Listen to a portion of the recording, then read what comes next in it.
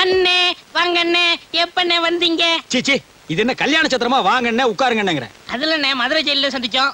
அப்புறம் வேலூர் கடலூர் கடைசியா பாளையங்கோட்டை ஜெயில மீட் பண்ணோம்.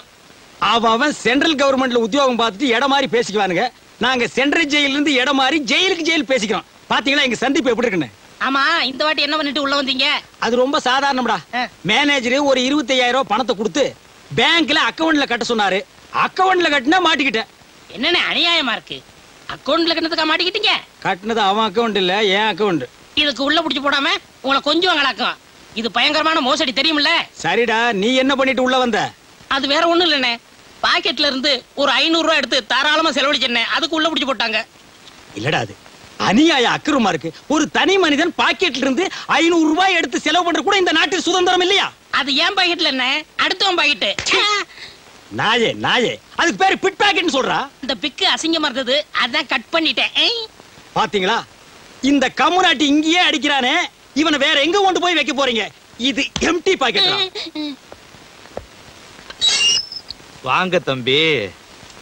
என்ன பெருசு? நலமா? இருக்கிறேன். ஆமா உங்களுக்கு வெளியில இருக்கவே பிடிக்காதா? வெளியில மனுஷன் இருப்பானா? அங்கங்க குத்து வெட்டு கலவரம். உங்களுக்கு பரவாயில்ல ஜென்ம தண்டனை கைது அதையெல்லாம் பார்க்காம நிம்மதியா உள்ளே இருக்கிறீங்க. அது அப்படிதான் இருக்கும். இந்த பாட்டெல்லாம் பாடுவிய அதுல ஒண்ணு எடுத்து விடு. மாங்குயிலே பூங்குயிலே தேதி ஒண்ணு கேளு. உன்ன மாலையிட தேடி வரும் நாளும் எந்த நாளு. ஆஹா இளையராஜா பாட்டை அப்படியே பாடுறையா இளையராஜா கூடவே இருக்க வேண்டியவன் ஐயா. விடுறீங்களா? அடிக்கடி உள்ள புடிச்சு போடுறீங்களே கவலைப்படாத. நீ வெளியில போறப்ப இளையராஜாவுக்கு நான் ஒரு லெட்டர் கொடுக்கறேன். அதை கொண்டு போய் கொடுத்தீங்கன்னா உனக்கு நல்ல சான்ஸ் கொடுப்பாரு. ஆமா இளையராஜாவை உனக்கு எப்படி தெரியும்? பாத்தியா பாத்தியா? சந்தேகப்படுறிய. அவர் அந்த காலத்துல இருந்தே சங்கீத வித்வான் தான் ஐயா. நான் வெளியில இருக்கப்ப அவருக்கு எனக்கும் பழக்கம். ஓ அப்படியா? தொட்டு தொட்டு விளக்கி வச்ச வெங்காலத்து சம்பு.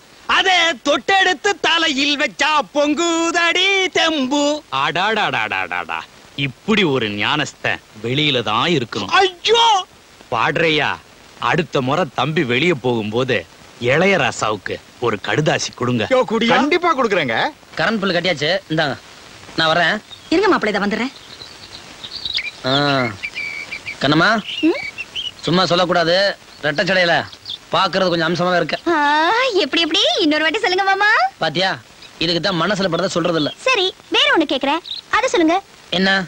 உச்ச தலையில இருந்து உள்ளங்கால் வரைக்கும் உடம்புல எந்த இடத்துல மச்சம் இருந்தா அது அதிர்ஷ்டம். எனக்கா உனக்கா? ரெண்டு பேருக்கும் தான்? நெத்தி. இல்ல. மேல் உதடு. இல்ல. சரி கீழ உதடு. கழுத்து. இல்ல இன்னும் கொஞ்சம் கீழே. காலு. என்ன மாமா ஒரேடியா தாவிட்டீங்களே? நம்ம கண்ணுக்கு தெரியாம முதுகுல மச்சம் இருந்தா அதுதான் அதிர்ஷ்டம். இத நான் சொல்லல. அத்தை சொன்னாங்களா? இந்த புஸ்தகத்துல போட்டிருக்கு புக்கில் கணதெல்லாம் போடுவாங்க படிக்காத. இந்தாங்க மாப்பிள்ள எதுக்கு இதெல்லாம்?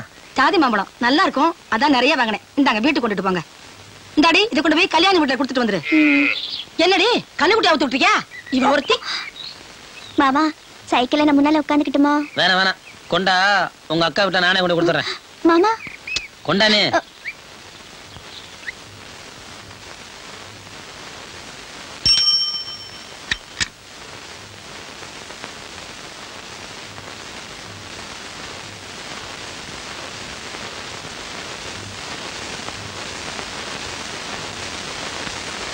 அத்தை இதை கொடுத்துட சொன்னாங்க.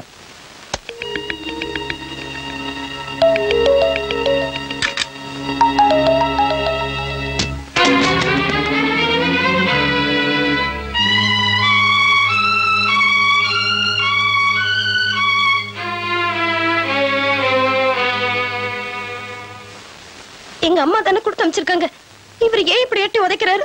கொடுத்து அனுப்புனது உங்க அம்மாவா இருந்தாலும் கொண்டு வந்தவன் பகையாளிடி. அவன் தொட்டது அமிர்தமா இருந்தாலும் கூட என் வரைக்கும் அது விஷம்தான்.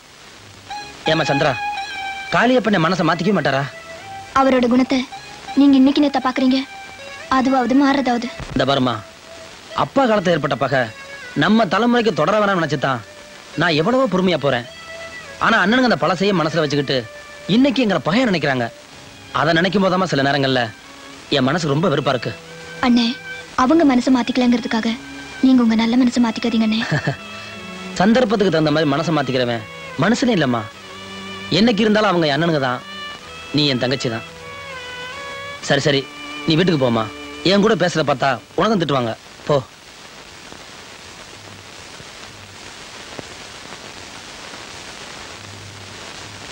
ஏ அப்ப மணி செத்த நில்லுப்பேன் உன்னைத்தான் பார்த்து ஒரு முக்கியமான விஷயத்த சொல்ல வந்தேன். என்ன மச்சான்? அவ தங்கராசு பைய காளியப்பை வீட்டுக்கு பழகுளம் கொண்டு போனேன். அந்த காளியப்பை காலால எட்டு ஓத்து விட்டானா? தங்கராசு கொண்டு போன பழக்கூடிய காளியப்ப எட்டு வச்சது இது வரைக்கும் நடக்காத விஷயமா? அந்த ரெண்டு குடும்பத்துக்குள்ள பக்கம் தான் இந்த ஊருக்கு தெரிஞ்ச விஷயமாச்சே. அதை போய் பெருசா டமார் அடிக்க வந்துட்டு போய் அங்கிட்டு வேலை இல்ல. நீ வாடா.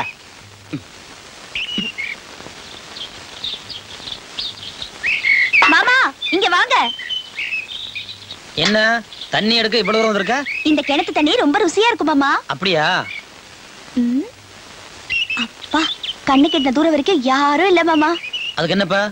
நான் சொல்றத செய்வீங்களா? என்ன விளையாடுறியா? செஞ்சா என்ன தப்பா? இந்த கிண்டலை யாரும் வச்சுக்கதாமா? ஐயோ ஒண்ணு இல்ல மாமா.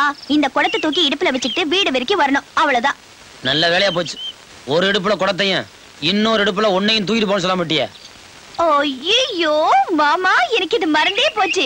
ஆ குடம் கூட வேணாம். இது எதுக்கு? என்ன இடுப்புல தூக்கி வச்சுட்டு போங்க மாமா. அடிச்சேன்னா? சும்மா ஒரு விளையாட்டுக்கு சொன்னா தூக்கிட்டு போன்னு துள்றியே ஆளை பாரு. ஏதாவது பேசுன தூக்கி கிணத்துல விடுறேன் ஆமா. கையெடு. எடுங்கிற. ஆடி முடிச்சிட்டியா. உடம்புலாம் வேர்த்து கொட்டுது போய் குளிச்சிட்டு படு. போங்க மாமா. ஏ போறியானப்ப. போ. அட.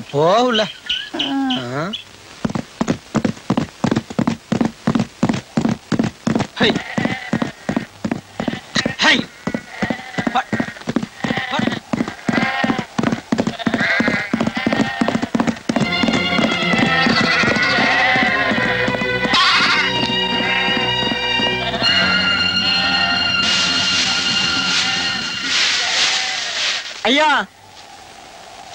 அநியாயமா உங்க வண்டியில அடிபட்டு ஆடு செத்து போச்சுங்க.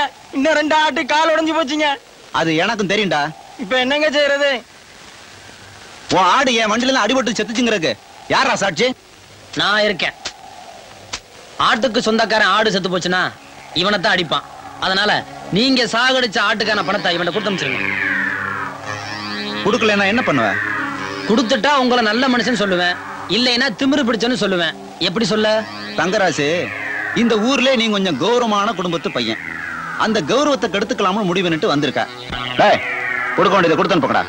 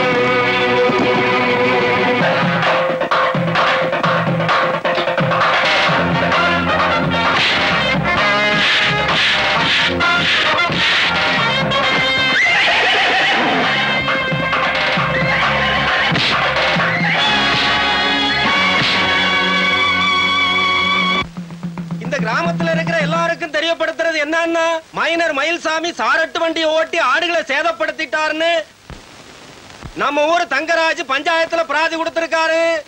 கச்சேரி மண்டபத்துல சாயந்தரம் கூட போற பஞ்சாயத்துக்கு வீட்டுக்கு ஒருத்தர் வரணும்னு பஞ்சாயத்தார் உத்தரவு.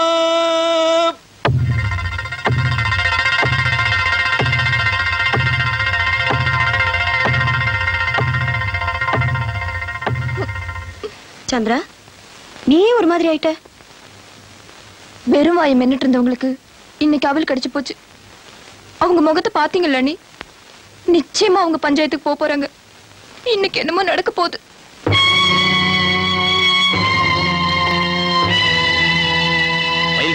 உண்மையை சொல்லுங்க. இது பஞ்சாயத்து. நாங்கெல்லாம் இங்க வந்து உட்கார்ந்திருக்கோம். அப்புறம் எங்களுக்கு என்ன மரியாதை? அவர் தான் ஆரம்பத்துல இல்லைன்னு சொல்லிட்டாருல. திரும்ப திரும்ப அவரே கேட்டு அப்படி? பஞ்சாயத்து வேண்டியதானே பேசுனதே பேசிட்டு தூக்கம் வந்துடும் போல இருக்கு.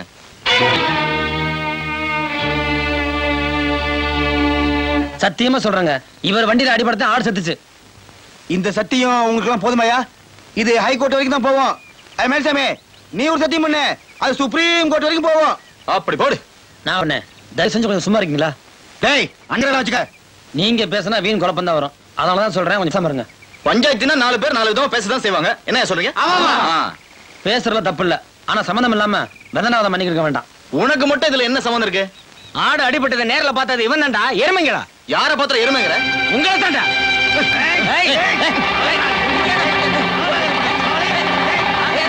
அவங்க பிரிச்சு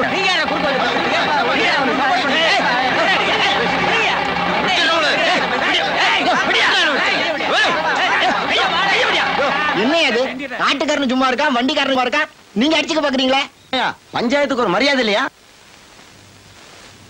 இங்க பஞ்சாயத்து குடியிருக்கிறே உங்க பகையை தீர்த்துக்கிறதுக்குல கொஞ்சம் அமைதியா இருங்க. இது என்ன விஷயம் விசாரிப்போம். மயில்சாமி நீங்க முடிவா என்னதான் சொல்றீங்க?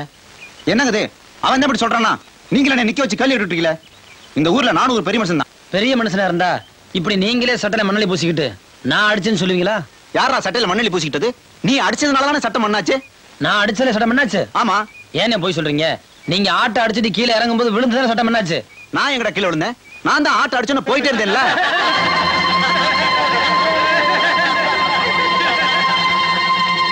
இவர் ஒத்துக்க வைக்கத்தான் நான் அப்படி பேசினேன். பாத்தீங்களா? ஒத்துக்கிட்டாரு? அபராதம் என்னன்னு சொல்லிட்டு பஞ்சாயத்தை முடிச்சு விடுங்க. என்ன பெருசு? லெட்டர் எப்படி எழுதிருக்கு பேனாவுல இங்கு ஊத்தி எழுதி இருக்கு பின்ன என்ன தண்ணி ஊத்தி எழுதுவாங்க? ஏ எண்ணெய் ஊத்தி எழுதுனா வேண்டாங்கிறது. என்ன விஷயம்னு கேட்டா ஐயா என்ன விஷயம் ஐயா? என்ன? எப்பவும் உள்ள குடும்ப விஷயம்தான். இந்த தடவை ஒரு புது பிரச்சனை. என்ன? என் பங்காளி ஒருத்தன் சாக கிடக்குறான். ஏகப்பட்ட சொத்து ஒரே ஒரு ஊம பேரன் பேரு சுப்பிரமணி. ஏழு வயசுல காணாம போனவன். முப்பது வருஷம் ஆச்சு இன்னமும் கிடைக்கல. ஒன்றரை கழுத வயசாச்சு அவிஞ்சு போயிருப்பான். இனிமே கிடைக்க போறான் எனக்கு. ஏங்க உங்க பங்காளி சொத்து எவ்வளவு தேரும்? என்ன இப்போதைக்கு ஐம்பது அறுபது லட்சம் ரூபாய் தேரும் எல்லாம் அனாதை சொத்தா போக போகுது.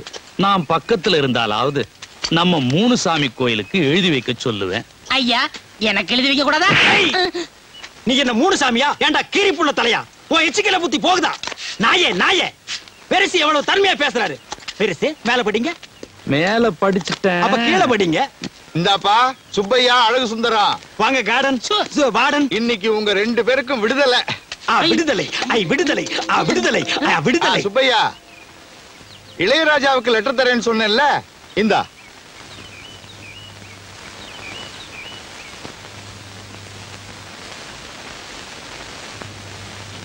பெருசு நாங்க போயிட்டு வர்றோம். ஆ, ஜெயில்லயும் சுடுகாட்லயும் போயிட்டு வரேன்னு அப்ப சொல்லக்கூடாது வந்துட்டு போறேன்னு சொல்லாமா?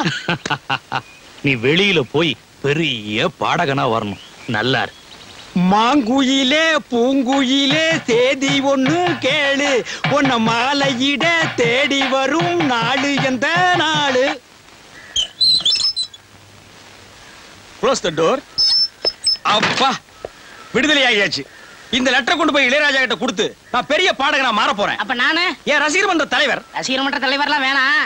ஐம்பது லட்ச ரூபா சொத்தோட ஒரு கிழவன் சாக போறாருன்னு பெருசு லெட்டர் படிச்சதே ஞாபகம் இருக்கா? ஆமா. நீங்க ஊமை பேரனா நடிங்க என்னடா சொல்ற? கிழவன் செத்ததும் சொத்தை பங்கு போட்டுக்குருவோம் வேணாப்பா நான் இளையராஜாவை பார்த்தே ஆகணும். என்னுடைய லட்சிய பாதை மாற்றாதே. அண்ணே ஒவ்வொரு பாட்டா பாடி நீங்க என்னைக்கு சம்பாதிக்க போறீங்க? கிழவன் சொத்துல ஒரு ரெக்கார்டிங் தியேட்டர் கட்டி இளையராஜாவை அங்கே வரவழைங்க. எல்லா பாட்டும் உங்களுக்கு கொடுத்துருவாரு. அப்படியா? இதெல்லாம் நடக்கிற காரியம் மண்டையா அண்ணே நம்ம நாட்டுல நடக்காது என்னென்ன இருக்கு? இதுக்கெல்லாம் துணிச்சல் வேணும்ண்ணே. அண்ணே ஆண்டவன் ஜெயில் கதை மட்டும் திறக்கல. நம்ம கண்ணையும் திறந்துட்டான். வாங்கண்ணே வாங்கண்ணே.